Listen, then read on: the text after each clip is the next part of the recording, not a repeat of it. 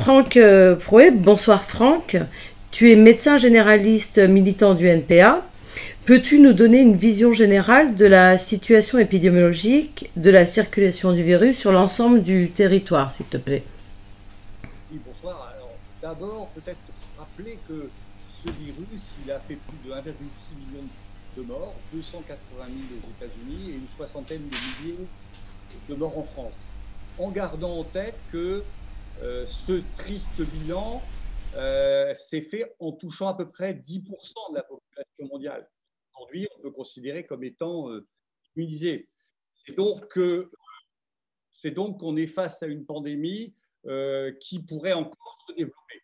Et c'est pour ça qu'on n'a malheureusement pas du tout été surpris de cette deuxième vague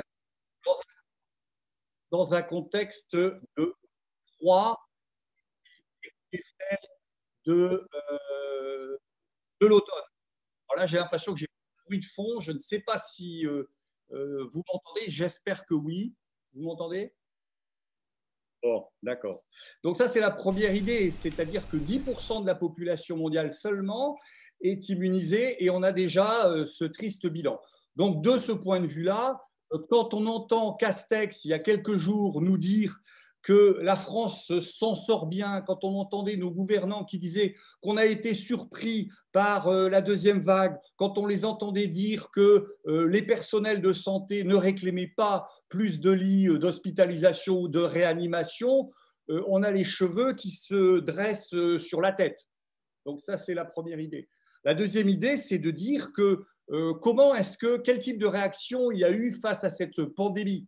Quand le gouvernement dit que la France a bien réagi, quelques jours après euh, le rapport euh, du Parlement et du Sénat qui pointait les mensonges sur les masques, les systèmes de tests qui s'est effondré il y a quelques mois déjà, hein, de fait, on avait des tests rendus en 6-7 jours, le fait que euh, ce confinement est quand même assez incompréhensible pour la masse des gens, bah, tout simplement on autorise le Black Friday, on autorise de se faire contaminer sur euh, le RER e ou les euh, bus et métros qui nous amènent dans les centres commerciaux, mais on interdit les cinémas, on interdit euh, la culture. En fait, on, confine nos vies à ce qui est la production et encore des secteurs les plus capitalistiques. Donc, de ce point de vue-là, on ne peut absolument pas se satisfaire de cette maîtrise de l'épidémie. Le gouvernement n'a pas utilisé les enseignements de la première vague pour renforcer les hôpitaux, passer de 5 000 à 12 000 comme il l'avait promis. Il n'y a quasiment eu euh, aucune euh, embauche. Euh, et puis, on a donc cette, ce système de test, ce système de gestion autoritaire de la pandémie qui marche vraiment très mal et qui est absolument insupportable. Alors, nous, on, on voit un peu deux types de réponses qui ne sont pas les nôtres. La première, c'est Trump, Bolsonaro, de dire ben, on va atteindre l'immunité collective et puis voilà, le capitalisme comme d'habitude.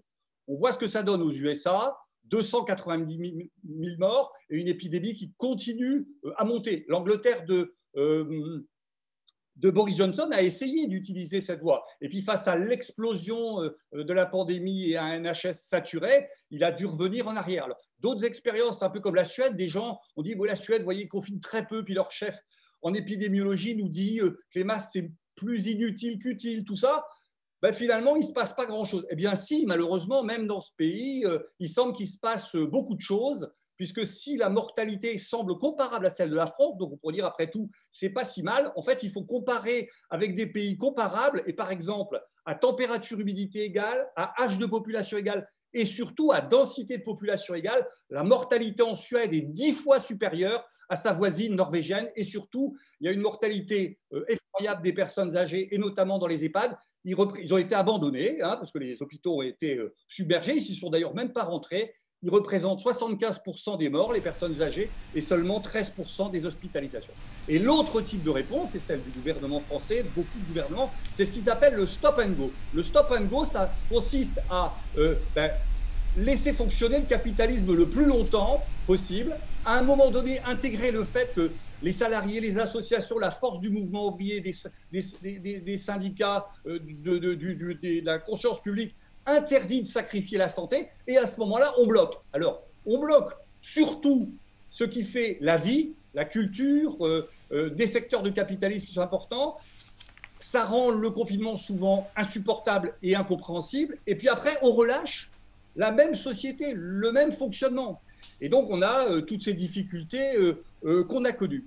Alors, pour savoir quelle pourrait être une alternative un petit peu à tout ça, je vais essayer de prendre deux exemples opposés de dynamique de l'épidémie dans deux régions françaises. L'une, la Haute-Savoie, l'autre, l'Île-de-France. Alors, on pourrait parier pour que la Haute-Savoie ait, moins de cas de Covid et moins de décès que, l'Île-de-France. La Haute-Savoie, c'est un département semi-rural de montagne qui a très peu vécu la première euh, pandémie. Eh bien, elle a eu un taux de développement de cette deuxième vague extrêmement important, avec plus de 1200, 1100 cas pour nouveaux cas pour 100 000 habitants. Beaucoup plus, euh, la, moyenne à ce moment-là, c'était 425 cas au niveau national. Il y avait une ARS et un préfet qui ont très peu réagi face à ça. On avait une population qui avait absolument pas intégré les gestes barrières. Les tests étaient là, mais derrière, il n'y avait rien qui était fait pour expliquer aux gens comment on pouvait s'isoler, notamment dans le cadre familial. Et on a eu une mortalité et une épidémie qui a monté extrêmement importante. L'Île-de-France, on pourrait dire au contraire, c'est une zone urbaine euh, où il y a des transports en commun, où il y a euh, pas mal de salariés, pas mal de gens qui se rencontrent. Vous savez, les fameux jeunes qui font la teuf, euh, vous savez, les fameux anxieux qui ont à eux seuls saturé les systèmes de test parce qu'ils allaient tester trois fois par jour.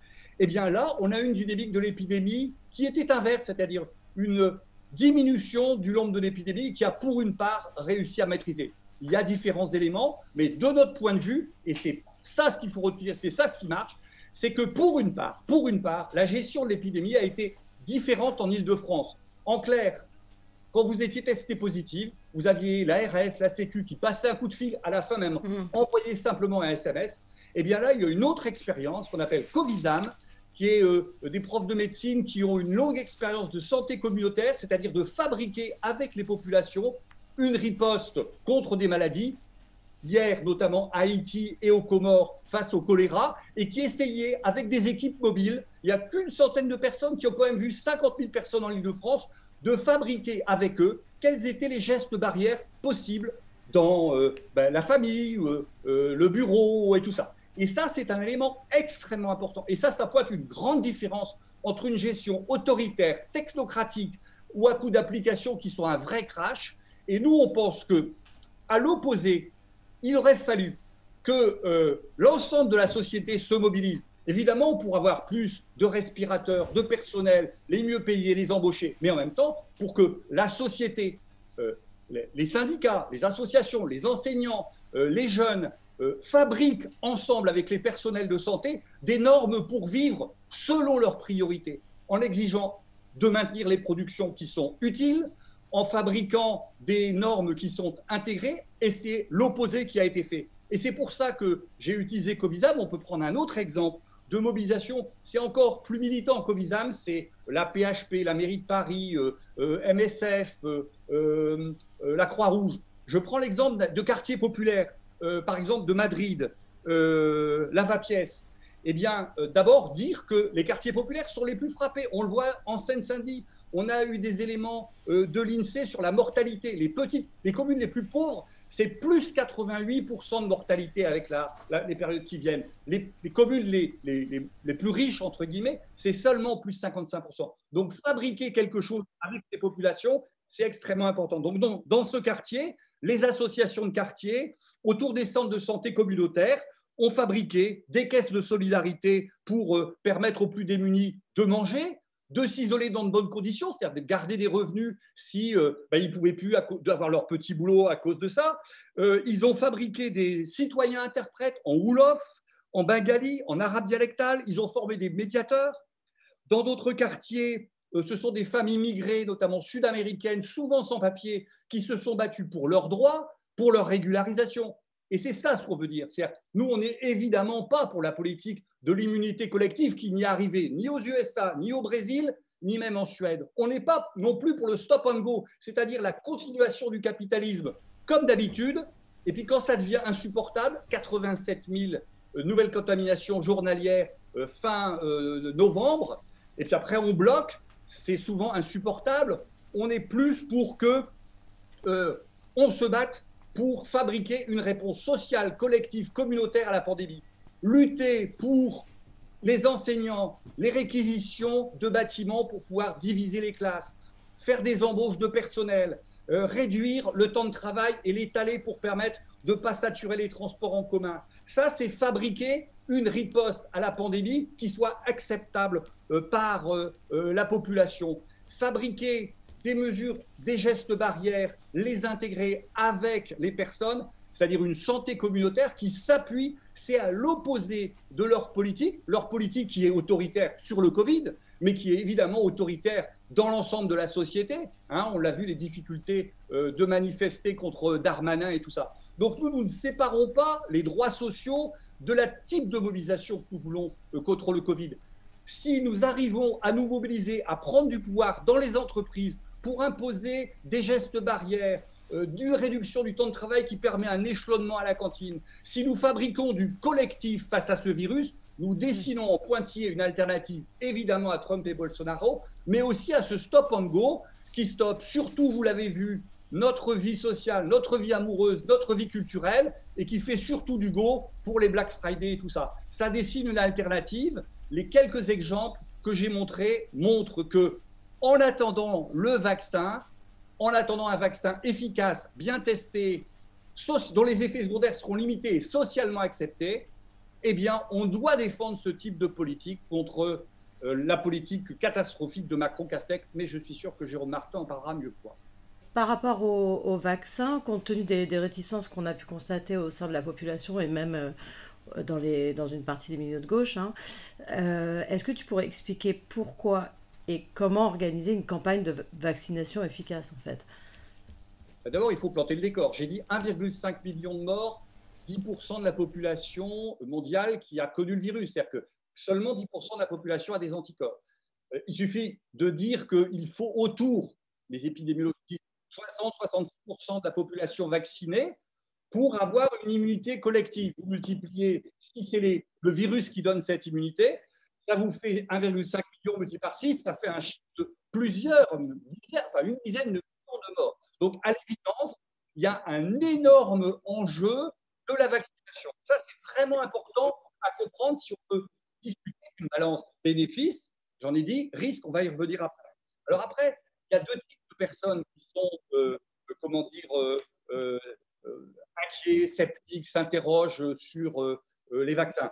Il y a d'abord ceux qui croient au miracle et ceux qui ne croient pas au vaccin. Vous savez, les, les Jérôme Voyeux qui étaient responsables euh, euh, de la validation des miracles au Vatican, homophobes, dénoncés par ACT UP, euh, anti-IVG, et qui nous explique que le vaccin, c'est responsable de l'autisme, de, de, beaucoup de choses comme ça. Bon, c'est vrai que ces gens-là, on n'arrivera pas à les convaincre, et pour de bonnes raisons, on n'arrivera pas à les convaincre. Par contre, il y a toute une série de personnes qui sont convaincues que il se passe souvent des choses derrière les politiques de santé et les politiques de vaccination, et d'une certaine manière, ils ont raison de s'interroger.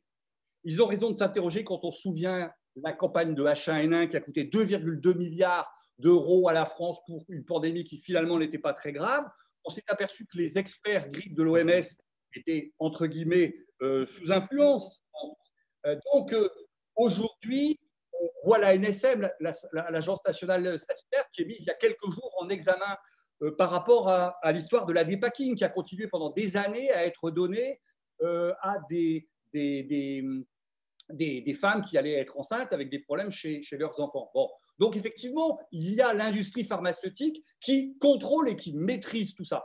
Mais nous, notre réaction, c'est pas dire du coup pas de vaccin. Nous, notre exigence, c'est de dire des vaccins bien testés, d'où l'importance des essais cliniques, de leur publication, de leur publicité, avec une transparence qui rompt avec les experts de complaisance. Par exemple, l'expérience euh, bah, avec une sorte de zoom d'une discussion euh, en vidéo euh, face à toute les, la, population américaine qui, souhaitait. Donc, pour rétablir la confiance, il faut, et on le NPA, on est pour ça, un, la liberté de vaccination et un choc de confiance. Un choc de confiance, ça ne peut être fait que s'il y a publicité contre le secret commercial de toutes les données, c'est clair. Pourquoi pas euh, il y a des associations indépendantes, il y a l'Observatoire, il y a la revue Prescrire, il y a des jurys citoyens pourquoi pas bâtir ensemble, toutes les forces qui le veulent, publiquement, euh, un après-midi, une journée de discussion collective sur la balance bénéfice-risque des vaccins qui nous sont proposés. En clair, les vaccins sont une chose trop importante pour être laissée au trust de la vaccination.